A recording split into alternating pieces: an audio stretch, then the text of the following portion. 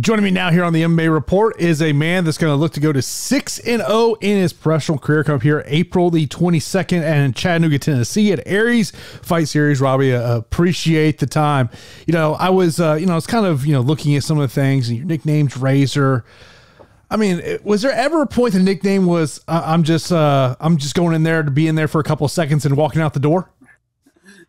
You know that that that would be a good one. You know, Scott. You know, I, in my first couple of pro fights, I, I've had a lot of luck in there. So for people who do not know 16 seconds 13 seconds 37 seconds 40 seconds now last time you you, you got some uh, cage experience i guess they say you know and, and that's kind of like it's this interesting thing you know because I, I think that there's like you know obviously you're you're not paid by the minute. You're paid to get in there and get out. But then, you know, you have some fighters will say, you know what, like, and, and obviously you've been doing this for some time. I mean, with your amateur and pro career, they'll say, you know, I'm, I'm trying to get some cage, you know, some cage time in and, you know, and having that feeling like, do you look at your last fight as like the example of like, okay, I kind of needed that? Yeah, yeah. And, and, you know, it's the fights that you go in there and, you know, you have to kind of, uh, put everything together that you feel the most accomplished after. You know, uh, my last fight against Jacob Kilburn, he was a uh, UFC vet, and uh, he had just recently got cut from the UFC, so I knew that he was going to be a good opponent. And I got to get in there and uh, you know work my striking and uh, my wrestling and my jiu-jitsu all in one fight. So I felt real good getting some uh, experience in there that I was missing in my earlier professional fights. See, so Tapology is my go-to site when I'm, you know, doing some prep for interviews, and uh, so I'm on your Tapology page, and I'm like, God damn it, I am feeling goddamn old because you were born two months after I graduated high school. I was like, Jesus Christ, I'm getting old. But then the other thing that stuck out to me is you're only 22 years old, but when you go to kind of this martial arts start for you, you were taking exhibition matchups back in 2015. We can do the math and figure out how old you were at that point. So, like, when when does martial arts become part of your life? Yeah. So, both my mom and dad are lifelong martial artists. Uh, my mom, she was a professional kickboxer back in the 80s, and my dad, I tell everybody he was doing jujitsu before jujitsu was even cool. Um, he you know he started out teaching in the basement of uh, our house and had students then back in like 1998 and uh, so when I was born, I kind of grew up in a martial arts gym. My parents opened up a gym here called Ring Combat Sports back whenever I was before I was born. Mm-hmm. So I remember, you know, growing up at the gym and then, you know, at first I started out doing karate, didn't really have the love uh, for karate that I do MMA. But when I turned eight years old, I did jujitsu, and that's I was like, that's what I want to do. And then I started putting two and two together. MMA came along, and I've been doing MMA since I was about ten years old, and uh, it took off from there. I had my first uh, unofficial expedition MMA mm-hmm. fight at 15, and then I haven't stopped since then. I'm 22 now, so I've been at it for a little while. Yeah, I mean the way I look at that uh, of talking about your story, I, I think it's like this this new breed of mixed martial artists of you know someone that's around your age maybe a little bit older where you know back of you know say someone who's competing right now that's in their you know say their 30s you know they grew up in one discipline you know wrestling obviously here in, in the united states has always been that big discipline. Like do you kind of view it of like do you view yourself kind of as that new breed of fighter where it's just not one discipline it was at a young age you were just getting all the disciplines in at once? Oh 100%. Uh, it was just like at high school, you know, we had a wrestling team here. Where I'm from, the wrestling team at the high school wasn't that good, so I never did wrestle in high school. Mm-hmm. But yet, I was wrestling state champions at the MMA gym from the time, you know, I was 13 and 14 years old. So I was putting it all together for MMA at that young age. It wasn't just straight jujitsu or it wasn't just straight boxing or kickboxing uh, I spent all my time crafting that full MMA game with all of it. So the nickname Razor, who gave it to you? Uh, it was one of my coaches, Bill Watkins. He uh, told me uh, that I was looking sharp as a razor, and then he said, uh, "Razor Robbie sticks." So I just ran with it. Is was it a name that uh, nickname that you liked right from the start? Oh yeah, I thought that Razor Robbie Ring uh, felt good to say, and you know it was kind of easy to market. You know, Razor Robbie Ring, so I I stuck with it. I love it. You know, you mentioned about obviously your last win came up against a, a UFC vet, and you know mentioned the fact of you know prior to that it'd been nothing but quick victories. Like as you you think about your pro run, like how do you describe it? Um, uh, the way that I would describe it is um, on a mission, and uh, I've been working really hard at this for a long time, and my main goal is to make it to the UFC. Um, I got to go in there and take care of business on the regional scene to get uh, to get noticed, and I can't go in there and get decision after decision because no, that's just like any other fighter out there. I'm going in there for a finish and uh, prove a, a, point that uh, I, I, belong uh, at a, another, the higher level of MMA fighting. Anyone who's listened to my show for a long time, they know one of the things of when I kind of hear that, one thing I kind of point to is like, you know, there's this, this line inside of a fight of, you know, being aggressive, but not kind of toting that over aggressive line where you know may, maybe you you're trying to finish a fight but also you could be leaving yourself open to something. Yeah. Like how, how do you balance that in, in terms of knowing or is it just an instinct for you yeah you you definitely have to be careful. You can't go out there like it's a street fight. You'll get you'll get caught. Uh, you know uh, how i how i explain it is it's it's controlled. You got to mm-hmm. be controlled in there and you got to know when to flip that switch. Um, you know, and that comes from training. We we train hard at Ring Combat Sports in my hometown of Wytheville, Virginia, and you know that's where you start to pick up those instincts, like you were mm-hmm. talking about, and knowing and knowing when to pull that trigger in the cage. What do you love most about the fight game? Ah, what is there not to love about it? I, I think that it's the thrill for me. Um, there's there's no other adrenaline rush like there is being locked in that cage and in front of a thousand people cheering you on, and you know the family that I've uh, made uh, through my martial arts career. You know, I'm closer to my teammates uh, than I am most of my real family. So those are the two things that I, I really love most about fighting and it's been real good to me. It's it's it's truly a lifestyle to me. I don't know what I would do without MMA fighting. In terms of this upcoming matchup here against Corey at Aries Fight Series, as you you think about him as an opponent, what what, what are some of the challenges you see with this matchup? Yeah, he's uh, he's a lot older than me for one, and he's got more professional fights than me. Mm-hmm. Um, he's he seems from his tape that I've watched, he, he's very athletic. Um, real short, stocky, muscled up guy. Um, pretty good wrestler. I just think that uh, I'm better in every aspect of MMA fighting, striking, grappling, wrestling, and uh, I don't think that he's going to be able to handle the pace that I'm going to bring uh, on fight night in terms of, of being this overall mixed martial artist uh, of you know you just mentioned there talking about hey i can do this this this this, this. do you kind of look at that as one of your biggest advantages in a fight of like man i can feint so many different things to help set up what i'm truly trying to set up yes and it's uh, and it's a good thing to have to be well rounded especially now that mma is evolving so much is mm-hmm. if i go in there and i'm looking to strike and the guy surprises me and you know starts tagging me on the feet i always know that i'm capable of taking the fight down to the ground and, and controlling the fight there or pushing the fight up against the fence and landing some damage there in the clinch.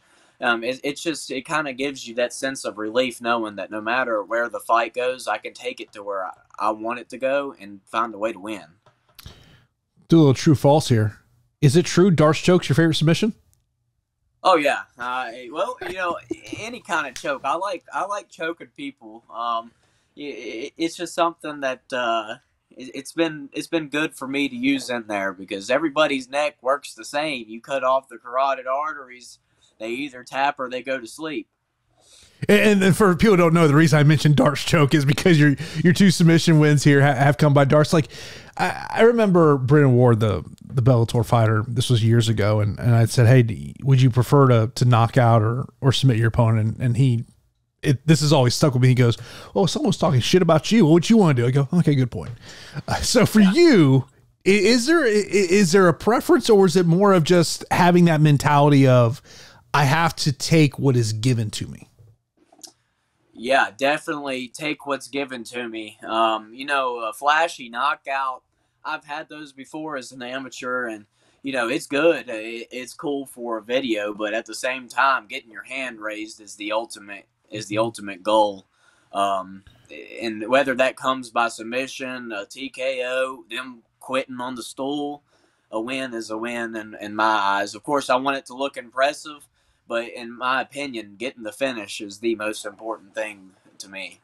Was there ever a moment, what maybe it was back in your amateur career, where you realized like, I just got to take what's there, as opposed to like you know you go into a fight with the mentality of like, oh, it's going to go down like this, and mm-hmm. was there ever that kind of that moment for you? Yeah, and this is actually uh, my last couple of amateur fights. I I don't know what was going on, but I was kind of having I was starting to coast a little bit in my mm-hmm. fights. Mm-hmm. Um, if you look back at my amateur career, my last few fights were decisions. Yeah, and uh, I had to COVID hit, and you know during COVID, I was thinking a lot about like I can't keep getting these decisions like this. Mm-hmm. And so then I started realizing, you know, you got to take some, you got to take the opportunities that come to you. If there's a choke open, you got to take it. You can't just settle with being on top, you know, peppering the guy with ground and pound. So that it kind of it took that me going to decisions my last few amateur fights to start to realize what I had to do to get a finish. And um, since then, uh, I've not had any decisions. So I think that uh, something's clicked to me. I mean, like obviously that was a interesting time for all of us in our world with with the pandemic and everything that went down, especially for fighters, because there just wasn't opportunities to compete. Like, it, do you? I mean, I mean, I hate to say you, you look at the positives, but do you look at that positive of like? Because I was unable to take fights, it allowed me to kind of take a deeper dive into okay, here's what I'm doing well here's what maybe you thought you weren't doing well and and find that middle ground of, of how you you mix everything together yes and uh, I, I did an interview before um, and i told the guy that covid was actually you know it was a horrible time you know mm-hmm. I, I i've known people that's passed away with covid and it was a horrible time for all yeah. of us um, but for me, it gave me some time to sit there and get my mind right. Uh, during COVID, I was 19 years old and I was a little immature as a martial artist, and a lot of it was it was mentally. Mm-hmm. I, I, struggled a lot with having confidence in my abilities. Like I, everybody would tell me, you know, Robbie, you're good. You really could make something out of yourself, but I didn't believe that. And um, COVID really helped me get my mind right to know that, you know, I was good. I can go out there and compete with these guys and, and do well, and I can take this as far as I want to take it. So it really was a good thing for me because it allowed me to get my mind right. And then whenever I started training again and the gym opened back up, it was, I was a different, completely different fighter after COVID one of the things that Ed was mentioning to me was, uh, you know, some of your hobbies, and, and one of the things was about uh, you like to hunt and fish. So if it's a, you know, it, it's a, a, a Saturday, Sunday, obviously not during, uh, you know, as you're a week or two away from a fight, but like we can go out and enjoy a, you know, a, Friday or Saturday. You know, maybe you're out with the family, maybe you're hanging out with the boys, and you're gonna go fishing or hunting. Like, is there, uh, let's say you're going fishing. Like, is there a certain fish like you say, I, I, this is what I'm hunting for today? Yeah, so uh, my uncle he he's actually a professional bass fisherman, and uh, he he's won a, a, bunch of tournaments, you know, at Lake Norman in Charlotte, North Carolina, and so he'll take me out on the boat and we'll we'll go bass fishing, and then uh, we also catch a fish called a, a crappie, and we will eat the fire out of those things. We have a fish fry at my granny's house, and uh, we we will eat fish, and then hunting we always hunt for whitetail, deer, and turkeys. So whenever I'm not in fight camp, I, I really like just being outside doing uh, outdoorsman stuff. It, it, keeps my mind. It kind of right in that moment, it just lets you think about, you know, finding a deer and killing the deer or catching a fish, and it kind of relaxes the mind a little bit. It, like fighters talk about that all the time of trying to find something that gets your mind off. Like I'm sure you know Corey Dulaney is a name that you're thinking about. You know, pretty much every hour of the day you're up on on a day to day basis. But is, is, that for you? Of you, you've just you you ha- you know you have to kind of find those things that just allow the brain to rest a little bit. Yes, for sure. And then a lot of the times it's like the week after my fight. Like after this fight, I plan on going turkey hunting the weekend after, and because uh, fighting MMA fighting is very, very, very stressful on the mind. I mean, you you, you drive yourself crazy. I wake up every single day thinking about fighting, and it's all day. I drive my fiance absolutely crazy because I'm making her watch film of Corey Dulaney and say, "What do you think?" What do you think? You know and so it's good to it's good to have some things like that to keep your mind off of it and uh you know just to relax a little bit. It, it, it, are you at the point that you're tired of watching his film? Oh yeah. I'm one of these guys if somebody if a fighter tells you they aren't watching uh, film on their opponent they're lying because i'm telling you i, I watch Corey Dulaney don't know, but I'm going to sleep every single night watching his film and critiquing critiquing him, uh, looking for my openings. I, I pretend that I'm in there with him and what mm-hmm. I'm going to do to him. So yeah, I I'm I'm about done watching Corey Dulaney's fights because uh, I've watched him so much. But is it also the same that you're going back and watching your own fights and, and having that that self analyzation of okay, this is what Corey's watching this is what like you know like you know I come from a football world and, and we we constantly live in that self evaluation of okay what are the tendencies you know no matter what position you play you know like if we're you know choosing an MMA example of you know hey does do you constantly throw a certain combination if you switch stances like is that a big yeah. part of what you do as well Oh yeah. So after every fight, um, when I watch back my film, I try to put myself in the mindset of I'm my opponent mm-hmm. watching my film, critiquing myself, and you know I'm I'm really my biggest critic. I can find those 13 second uh, fights and find something that I did wrong in those, and uh, and I think that's why I constantly improve from mm-hmm. fight to fight is because I'm sitting there, and even if it's something minor, uh, that I, I, my left hand was just a little bit too low, or my footwork was just a little off, yeah.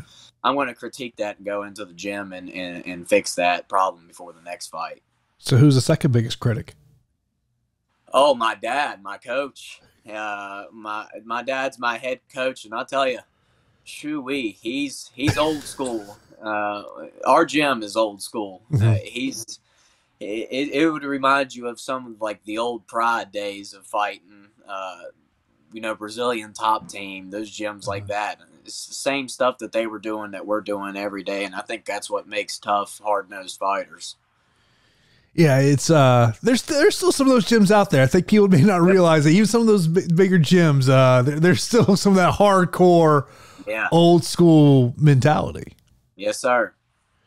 Uh, final thing for for people who are just getting a chance to get to know you, you know, and and and they're starting to follow your career. What would you want them to know about you? You know, I I, I think that the the biggest thing that I want people to know about me is, you know, I'm I'm a hard worker and uh, I've dedicated my life to the sport of mixed martial arts and.